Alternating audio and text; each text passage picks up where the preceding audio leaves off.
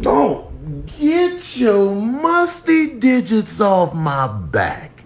Did you forget who I am? How dare you place them upon me?